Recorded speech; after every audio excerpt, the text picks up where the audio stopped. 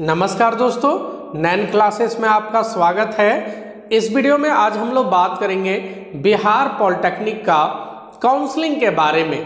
तो बिहार पॉलिटेक्निक का काउंसलिंग चालू है और इस वीडियो में आज हम लोग बात करेंगे कि यदि आपको सिविल ब्रांच चाहिए, गवर्नमेंट पॉलिटेक्निक पटना तेरह में या पटना का सात में या मुजफ्फरपुर का पॉलिटेक्निक में, भागलपुर पॉलिटेक्निक में या गया में तो आपको कितना रैंक चाहिए? यदि आप जनरल स्टूडेंट हो तो आपको कितना रैंक चाहिए? ईडब्ल्यूएस वाले बच्चे को कितना रैंक चाहिए? B C E B C S C S T disable quota या सर्विसमैन कोटा आज सारा पूरा डिटेल में बात करेंगे और इस वीडियो में आपको ये पाँचों कॉलेज का जो डाउट है ना गारंटी के साथ क्लियर हो जाएगा।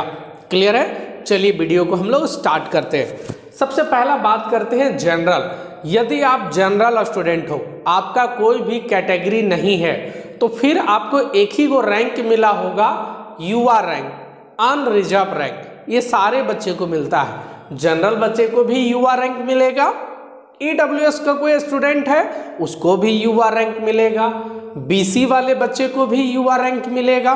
क्लियर लेकिन जो जनरल है उनको सिर्फ़ युवा रैंक ही मिलता है। तो बात करेंगे कि सर पटना में हमको चाहिए सिविल और हम जनरल स्टूडेंट हैं तो हमको कितना रैंक तक मिल जाएगा? तो देखो, बता रहे कितना रैंक तक आपको मिलेगा? पिछले साल के डेटा के हिसाब से आपको 150 रैंक तक में सिविल मिल जाएगा, पटना तेरह में। 150 रैंक।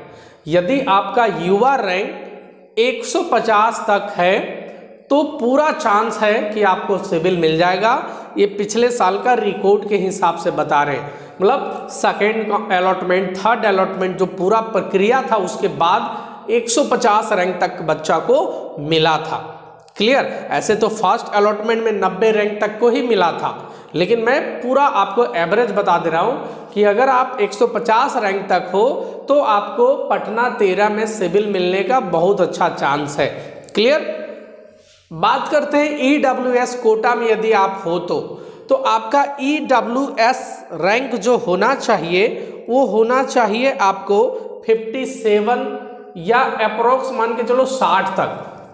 ई e वाला रैंक 60 कैटेगरी रैंक 60 में बोल रहा हूँ। अनरिजर्व वाला से बच्चा लोग को ये सारा कैटेगरी का पता करने में बहुत दिक्कत होता है। जैसे डिसेबल कोटा में कोई है तो पचास हज़ार रैंक, साठ हज़ार रैंक में उसको डिसेबल कोटा रैंक कितना होगा? थोड़ा सा मुश्किल होता है। तो इस बार जो हम लोग बात करेंगे, जनरल वाला के लिए युवा रैंक, बाकी सारा का कैटेगरी रैंक, बाकी सारा बच्चा का कैटेगरी रैंक बात करेंगे, ठीक है? तो अगर आप ई e कोटा में हो और ई e वाला रैंक अगर आपका 60 है तो आपको सिविल मिल सकता है। अगर इसका युवा रैंक अगर बात करेंगे ना ई e का युवा रैंक तो ये साढ़े तीन सौ तक चला जाएगा। इसका युवा रैंक साढ़े तीन सौ, चार सौ तक चला जाएगा। तो युवा का हम लोग नहीं बात कर रहे बाबू। युवा सिर्फ़ बात करेंगे किनको? जनरल स्टूडेंट के लिए। क्लियर एकदम अच्छे से समझो।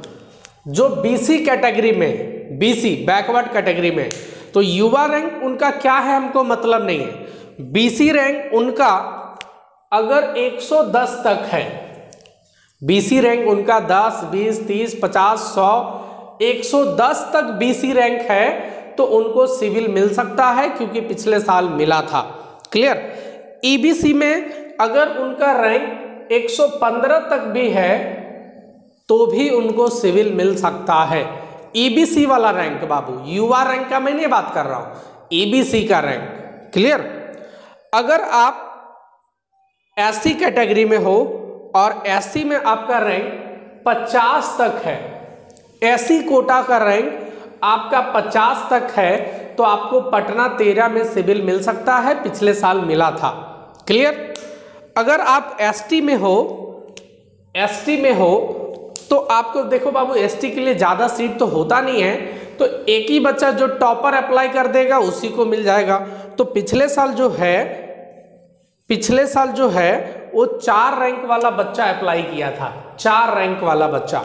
उसका पूरे बिहार में एसटी में चार रैंक था। तो एसटी में जो एक रैंक वाला अप्लाई करेगा, उसको मिलेगा पहले। एक रैंक वाला नहीं अप्लाई किया तो दो रैंक वाले को मिलेगा। तो पिछले साल चार रैंक वाले को मिला है। तो यदि आपका एसटी में दस रैंक के अंदर में है एसटी में तो आप रेस में हो, लेकिन गारंटी नहीं बोला जा सकता, क्योंकि भाई टॉप कॉलेज है एसटी में जिसका एक होगा, वो भी इसमें अप्लाई कर सकता है, लेकिन चार रैंक वाले को पिछले साल मिला है। यदि आप डिसेबल कोटा में हो डिसेबल कोटा में तो आपको 125 रैंक तक में सिविल मिल सकता है। डिसेबल कोटा का 125 रैंक। आ रहा बात समझ में? डिसेबल कोटा में अगर आपका 125 रैंक है तो आपको सिविल मिल सकता है पटना तेरह का। सर्विसमैन कोटा पिछले साल, जिसका सर्विसमैन कोटा में फाइव रैंक था ना, वो पटना तेरह लिया था। तो अगर आपका सर्विसमैन कोटा में दस रैंक तक है तो आप रेस में हो। आपको पटना तेरह का सिविल मिल सकता है। क्लियर बात करते हैं पटना सात का। पटना सात के लिए आपको अगर आप सर्विसमैन कोटा या डिसेबल कोटा के हो तो पटना सात के लिए डिसेबल कोटा में पिछले साल आपको लाना पड़ा था सत्रह रैंक तक। सत्रह रैंक। पटना सात में आपको सत्रह रैंक तक लाना पड़ा था। देखो बाबू, इसमें होता क्या है, जो टॉपर बच्चा जहाँ अप्लाई कर दिया, उसको मिलेगा पहले। क्योंकि डिसेबल कोटा, सर्विसमैन कोटा में ज़्यादा तो सीट नहीं होता है। आ रहा बात समझ में? हर एक ब्रांच में एक गो, किसी में एको नहीं। इस टाइप का सीट होता है बाबू। तो पटना पटना सात में अगर आप डिसेबल कोटा में हो तो सत्रह रैंक वाले बच्चा तक को पिछले साल मिला था। अगर आप सर्विसमैन कोटा में हो, बीस रैंक तक तो आपको मिल सकता है। पटना सात का सिविल। इस वीडियो में सिर्फ़ और सिर्फ़ सिविल का हम लोग बात कर रहे हैं। ठीक है, सिर्फ़ और सिर्फ़ सिविल। अगर बात करोगे आप जनरल रैंक का तो 369 ओवरऑल कर देते हैं 400 रैंक। 400 रैंक तक पटना का सिविल मिल सकता है पटना सात का सिविल। पिछले बार वही 370 रैंक तक को सिविल मिला था। जनरल में आप हो, और अगर आपका 400 रैंक है तो पटना सात का सिविल मिल सकता। है गारंटी नहीं है, लेकिन मिल सकता है, पिछले साल मिला था। इसके आसपास वाले को, ठीक है? अगर आप अगर आप ई डब्ल्यू एस के बच्चे हो ई डब्ल्यू एस तो आपका ई डब्ल्यू एस में पचहत्तर रैंक के आसपास में होना चाहिए। ई डब्ल्यू एस कोटा में पचहत्तर रैंक तो आपको पटना सात का सिविल मिल सकता है। क्लियर? बीसी में अगर आप हो तो बीसी के लिए आपको 150 रैंक तक लाना होगा। अगर आपका बीसी कैटेगरी में 150 रैंक है युवा रैंक का मैं नहीं बात कर रहा हूँ। कैटेगरी सब बीसी में बीसी कैटेगरी देख लेना ईबीसी e में ईबीसी e कैटेगरी वाला रैंक देख लेना। एससी हो आप तो एससी कैटेगरी वाला रैंक देख लेना। एसटी हो तो एसटी वाला रैंक देखना। डिसेबल कोटा हो तो डिसेबल कोटा वाला। सर्विसमैन कोटा हो तो सर्विसमैन कोटा ईडब्ल्यूएस हो तो ईडब्ल्यूएस कोटा वाला रैंक देखना। युवा रैंक मत देखना। युवा रैंक कौन देखेगा? जो जनरल बच्चा है, उसको देखना है। क्लियर बहुत इजी वे में इस बार बनाए हैं ताकि आपका सारा डाउट को क्लियर मैं कर दूँ। और पूरा इस वीडियो से क्लियर होगा आपका। बात करते हैं ईबीसी e का। ईबीसी e में आपको लाना पड़ेगा 145 रैंक तक। मतलब मान के चलो 150 रैंक तक। अगर आपका 150 ईबीसी e में रैंक है तो आपको पटना सात का सिविल मिल सकता है 150 रैंक तक में। बात करते हैं एसी कोटा का। एसी कोटा के लिए आपको भी लगभग एसी में 150 रैंक होना होगा। एसी में 150 रैंक यूआर में 3000 हो 4000 रैंक हो, उससे मतलब नहीं। एसी में आपका 150 रैंक होना चाहिए। तो आपको सिविल मिल जाएगा। उसके बाद एसटी के लिए सिविल पटना सात में या तो कोई सीट नहीं है अवेलेबल, एसटी कैटेगरी के लिए पिछले साल एसटी में इसको नहीं मिला है सीट। तो एसटी वाला बच्चे को फिर अनरिजर्व वाला सीट मिला होगा, लेकिन एसटी के लिए यहाँ पर सीट अवेलेबल नहीं है। क्लियर? बात करते हैं मुजफ्फरपुर का। मुजफ्फरपुर का सिविल लेने के लिए डिसेबल कोटा को डिसेबल कोटा को सैतीस रैंक तक होना पड़ा था। पिछले बार मुजफ्फरपुर में जिसका भी डिसेबल कोटा रैंक सैतीस तक था, उसको सीट मिल चुका था। सिविल का ही मैं बात कर रहा हूँ। मुजफ्फरपुर में सैतीस रैंक में आपको सिविल मिला था। डिसेबल कोटा में सैतीस। आ रहा बात समझ में? डिसेबल कोटा में जिनका भी सैतीस रैंक था उनको पिछले बार सिविल मिला था मुजफ्फरपुर में। ठीक है? सर्विसमैन कोटा में 21 रैंक। सर्विसमैन कोटा में 21 रैंक जिनको था, उनको मुजफ्फरपुर में सिविल मिला था। तो ये सर्विसमैन कोटा का इक्कीस रैंक। जनरल रैंक भले इनका पाँच हज़ार हो, उससे मतलब नहीं सर्विसमैन कोटा में इक्कीस रैंक। ठीक है? उसके बाद बात करते हैं, अगर आप जनरल स्टूडेंट हो तो आपको 900 रैंक तक लाना होगा 900 रैंक। युवा रैंक आप, अगर आपका 900 तक है तो सिविल मिल सकता है आपको मुजफ्फरपुर में। पिछले साल 900 रैंक तक को मुजफ्फरपुर में मिला है। अगर आप ई e में हो तो आपको ई e में 70 रैंक वाले बच्चे को मुजफ्फरपुर में पिछले बार मिला था सिविल 70 रैंक ई e में 70 रैंक। ठीक है? बात करते हैं बीसी रैंक का। बीसी के लिए आपको 302 रैंक मतलब 300 के आसपास। बीसी में यदि आपका 300 रैंक है तो आपको सिविल मिल जाएगा मुजफ्फरपुर का। कैटेगरी रैंक 300 बीसी में आप हो 300 रैंक अगर है आपका कैटेगरी रैंक तो आपको मुजफ्फरपुर में सिविल मिल जाएगा। क्लियर अगर बात करते हैं, अगर आप ईबीसी में हो तो 325 तक आपको मिल जाएगा। 325 रैंक ईबीसी में 325 रैंक है, आपको मुजफ्फरपुर का सिविल मिल जाएगा। एससी और एसटी का बचा। एससी में आपका 108 रैंक एससी में 108 रैंक एसी में यदि आपका 108 रैंक है तो आपको मुजफ्फरपुर का सिविल मिल जाएगा एससी में 108 रैंक। उसके बाद डिसेबल कोटा वगैरह तो मैं लिख ही दिया था। Disable Kota, ST. एसटी इस बार मुजफ्फरपुर में आठ रैंक में एसटी वाले को मिला। आठ रैंक। एक सीट होता है बाबू, आठ रैंक वाला बच्चा अप्लाई किया, उसको मिल गया। तो एसटी वाले के लिए थोड़ा सा रैंक आपको अच्छा होना चाहिए एसटी में। है ना? और ये तो मैं बता दिया था। इसमें था सैतीस रैंक और सर्विसमैन कोटा में इक्कीस रैंक। आप एकदम आराम से मिला सकते हो। यदि आप ई e का स्टूडेंट हो, पटना तेरह में चाहिए। आपका ई e में यदि 60 के आसपास रैंक है 60 है 50 है 44 है 45 है 20 है 30 है, तय मानो आपको पटना तेरह का सिविल मिल जाएगा। अगर आप ई e में हो, अब पचहत्तर रैंक तक है तो आप पटना तेरह अप्लाई करना, लेकिन सेकेंड में पटना सात भी कर देना, क्योंकि सात में आपको मिलने का ज़्यादा चांस है। अगर आपका सत्रह पचहत्तर के आसपास है तो मुजफ्फरपुर भी ट्राई कर सकते हो, इसमें भी आपको मिल जाएगा। क्लियर आ रहा बात समझ में? उसी तरह मान लो आप ऐसी स्टूडेंट हो, पटना तेरह में आपको चाहिए सिविल। तो अगर ऐसी कोटा में अगर 50 रैंक के आसपास है तो आपको मिल सकता है पटना तेरह। डेढ़ सौ के आसपास है तो पटना सात मिलेगा। यहाँ देखो मुजफ्फरपुर में और कम वाले को मिल गया। मतलब एक सौ आठे वाला को मिला। मतलब डेढ़ सौ वाला को मुजफ्फरपुर भी नहीं मिला। इसका मतलब मुजफ्फरपुर कुल मिला के थोड़ा सा डिमांडेड में से एक है।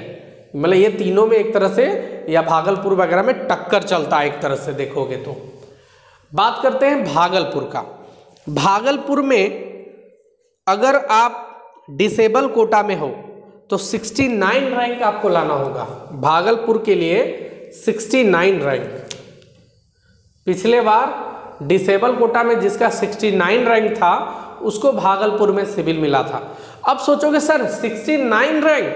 तो बाबू, डिसेबल कोटा में 69 अगर इसको ओवरऑल बात करोगे ना तो ये दस हज़ार रैंक है। युवा रैंक अगर देखोगे तो दस हज़ार युवा रैंक है ये। आ रहा समझ में? दस हज़ार रैंक दस हज़ार में सिक्सटी नाइन बच्चा है जो विकलांग है। आ रहा बात समझ में? तो ये सिक्सटी नाइन नंबर का विकलांग बच्चा है। तो सिक्सटी नाइन में आपको भागलपुर में सिविल मिल जाएगा। मतलब सत्तर रैंक के आसपास अगर डिसेबल कोटा में हो तो आपको भागलपुर का सिविल मिलेगा। क्लियर? अगर आप तिहत्तर रैंक हो सर्विसमैन कोटा में, सेवेंटी थ्री ये भी आपका चला जाएगा रैंक कितना? तेईस हज़ार के आसपास। ये दोनों रैंक चला जा रहा तेईस हज़ार के आसपास। तेईस हज़ार बच्चा मतलब युवा रैंक है तेईस हज़ार। और देखो, कैटेगरी में मात्र 69 है और 73 समझ रहे हो? तो युवा रैंक से तुलना कर पाना थोड़ा मुश्किल है, इसीलिए आप कैटेगरी वाला बच्चा हो, कैटेगरी वाला रैंक देखो। सर्विसमैन कोटा में तिहत्तर तक है आपका, भागलपुर में आपको सिविल मिल जाएगा। डिसेबल कोटा में 69 रैंक तक है। भागलपुर का सिविल मिल जाएगा। क्लियर? युवा रैंक युवा रैंक के लिए आपको 1200 रैंक तक में मिलेगा भागलपुर का सिविल 1200 रैंक। अगर आपका युवा रैंक 1200 तक है तो भागलपुर का सिविल आपको मिल सकता है। वो भी हो सके तो फ़र्स्ट अलॉटमेंट में ना मिले तो आप अपग्रेड कर देना, सेकेंड तक में आपको मिल सकता है। उसके बाद युवा के बाद एसटी के लिए यहाँ पर सीट है नहीं एसटी के लिए सीट है नहीं, भागलपुर में स्पेशल एससी के लिए आपको दो रैंक लाना होगा। एससी में दो रैंक एसी में आपका दो रैंक अब ये दो रैंक मतलब जानते हो कितना रैंक हो जाता है? चार हज़ार रैंक यूआर में। यूआर में चार हज़ार रैंक तो चार हज़ार में दो सौ को ही था जो एससी का बच्चा था। तो इसीलिए मतलब इसको राउंड फिगर में लिख दे रहे हैं। अगर आपका 250 के आसपास एससी कोटा में रैंक है तो आपको भागलपुर का सिविल मिल जाएगा। राउंड फिगर में 250 के आसपास एसी कोटा में रैंक है तो आपको भागलपुर का सिविल मिल जाएगा। क्लियर है? बात करते हैं ईडब्ल्यूएस e का। ईडब्ल्यूएस e में आपको 200 रैंक यदि है आपका ईडब्ल्यूएस e में यदि आपका रैंक 200 तक है, आपको भागलपुर का सिविल मिल जाएगा। पूरा चार्ट अच्छे से लिख लेना बाबू, अच्छे से समझ में आ जाएगा। अगर आप बीसी कोटा के हो तो बीसी कोटा के लिए आपको 800 रैंक तक होना होगा। 800 रैंक अब बोलोगे, सर ईडब्ल्यूएस में दो सौ में सिविल मिल जा रहा है, दो सौ तक को मिल रहा है। बीसी में 800 तक को मिल जा रहा है। अरे भाई, ये 200 रैंक जो है ना ये भाग जा रहा बहुत ज़्यादा। और ये 800 भाग रहा दो हज़ार रैंक तक। और ये 200 चला जा रहा पाँच हज़ार रैंक तक। मतलब समझ रहा है यूआर से तुलना नहीं करना। इसीलिए कैटेगरी वाइज अपना रैंक देख लो। ईबीसी e का बात करो ईबीसी e 500 रैंक तक को सिविल मिल जाएगा। 500 ठीक है? अगर आप ईबीसी e वाला स्टूडेंट हो, अगर आपका कैटेगरी रैंक 500 तक है ईबीसी में आपको भागलपुर का सिविल मिल जाएगा। क्लियर बात करते हैं गया का।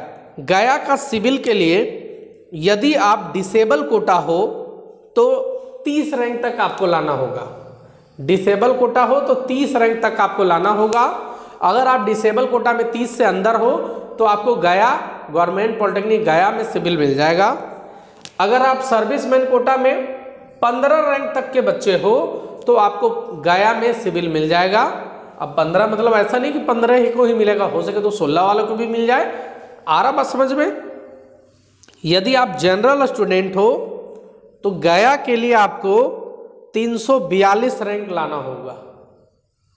तीन सौ, साढ़े तीन सौ राउंड फिगर में रख दे रहे अगर आप साढ़े तीन सौ रैंक के आसपास के हो बच्चे तो आपको गया में मिलेगा।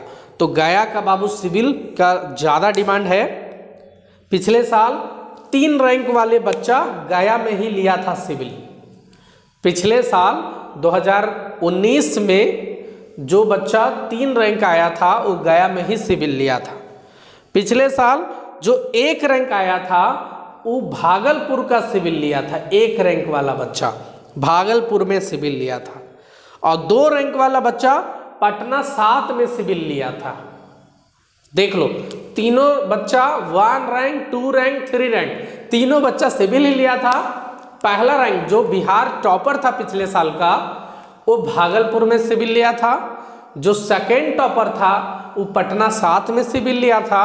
और जो थर्ड टॉपर था, वो गया में सिविल लिया था। वो गया में सिविल लिया था। आ रहा बात समझ में? क्लियर चलिए, आगे बढ़ते हैं। तो गया का सिविल लेना है तो आपको साढ़े तीन सौ के आसपास आना होगा बाबू। मतलब पटना तेरह के बाद ज़्यादा डिमांड गया का सिविल का है। क्लियर? उसके बाद बात करते हैं ई डब्ल्यू एस कोटा का। तो ई डब्ल्यू एस के लिए आपको सौ रैंक के आसपास आना होगा बाबू। ई डब्ल्यू एस कोटा में यदि आपका सौ रैंक है तो गया का आपको सिविल मिल जाएगा। ई कोटा में सौ रैंक। क्लियर? बात करते हैं हम लोग बीसी रैंक का। तो यदि आप बीसी का बात करते हो तो आपको ढाई सौ रैंक के आसपास आना होगा।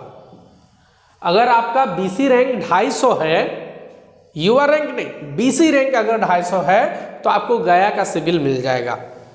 अगर आपको ईबीसी में हो, फिर भी अगर ढाई सौ है तो आपको गया का सिविल मिल जाएगा। क्लियर? अगर बात करते हैं आपका एससी का एससी में आपको बाबू 220 मतलब राउंड फिगर में इसको भी 250 ही रख देते हैं। अगर आपको 250 रैंक तक है,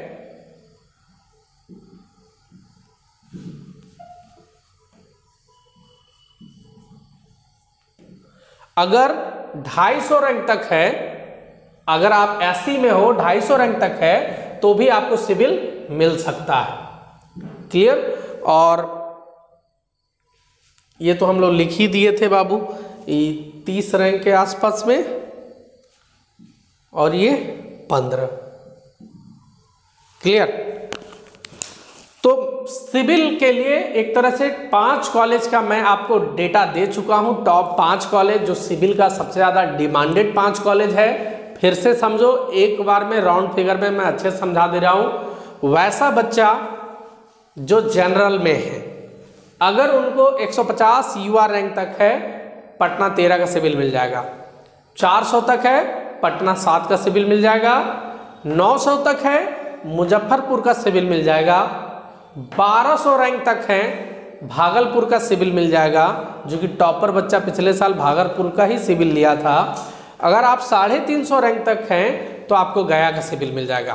क्लियर? यू आर रैंक जो जनरल बच्चे उसके लिए बात किए बात कीजिए ए डब्ल्यू एस अगर आपका साठ रैंक है कैटेगरी में, आप ई एस के स्टूडेंट हो, साठ रैंक तक है कैटेगरी में तो आपको पटना तेरह का सिविल मिल जाएगा, पचहत्तर तक पटना सात का सिविल, मुजफ्फरपुर में सत्तर ई एस कोटा में अगर रैंक है, मुजफ्फरपुर में सिविल आपको मिल जाएगा 200 ईडब्ल्यूएस e कोटा में रैंक है, भागलपुर का सिविल मिल जाएगा 100 ईडब्ल्यूएस e कोटा में रैंक है, गया का आपको सिविल मिल जाएगा क्लियर अगर आप बीसी कैटेगरी के के हो बैकवर्ड क्लास ओबीसी में बीसी कैटेगरी के हो 110 अगर आपका कैटेगरी रैंक है, आपको पटना तेरह मिल जाएगा। 75 अगर आपको 150 150 कैटेगरी रैंक है, आप बीसी स्टूडेंट हो और आपका कैटेगरी रैंक 150 के आसपास है, पटना सात का सिविल मिलेगा। 300 रैंक के आसपास में है, मुजफ्फरपुर का सिविल आपको मिल जाएगा। 800 के आसपास है, भागलपुर का सिविल मिल जाएगा 250 के आसपास है, गया का सिविल मिल जाएगा। अगर आप बीसी का स्टूडेंट हो, और कैटेगरी रैंक आपको अगर 800 के आसपास है, मान लो कि भागलपुर का आपको सिविल मिल जा रहा है। यदि आप ईबीसी e का स्टूडेंट हो, अगर आपका ईबीसी e में है, आपका कैटेगरी रैंक 115 है मतलब आपको पटना तेरह का सिविल मिल जाएगा। अगर 150 के आसपास आपका कैटेगरी रैंक है पटना सात का सिविल मिल जाएगा। 325 के आसपास अगर कैटेगरी रैंक है, मुजफ्फरपुर का सिविल मिल जाएगा। 500 के आसपास है, भागलपुर का सिविल मिलेगा। 250 के आसपास है, गया का सिविल मिल जाएगा। अगर आप ईबीसी e कैटेगरी में हो तो।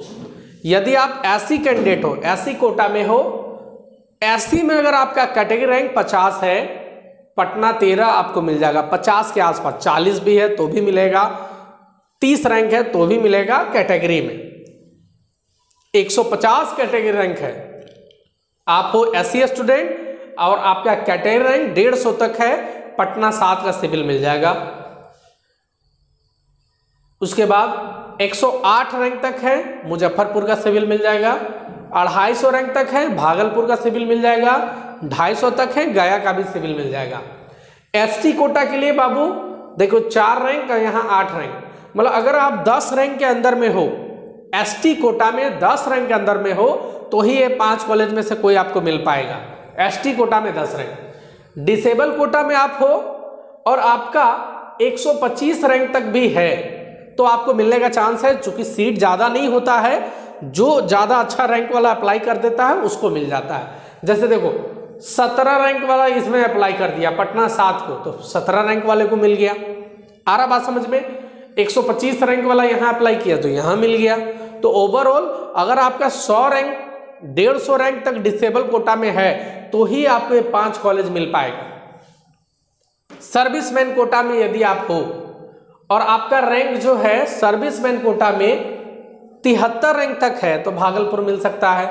और top five top ten top twenty rank तक है आपका तो ही ये चार कॉलेज मिलेगा। देखो, बीस रैंक तक को पटना सात मिला है, पाँच रैंक तक को पटना तेरह मिला है। क्लियर समझ में आ रहा है? तो इस वीडियो में मैं पाँच कॉलेज में सिविल के बारे में चर्चा किया हूँ। उम्मीद करते हैं आप लोगों को समझ में आ रहा होगा। काफ़ी मेहनत से डेटा में व्यवस्था किया हूँ बाबू। यदि आपको अच्छा लगा तो वीडियो को इसी तरह से लाइक कीजिए और सपोर्ट करते रहिए। बहुत बहुत धन्यवाद। Thank you.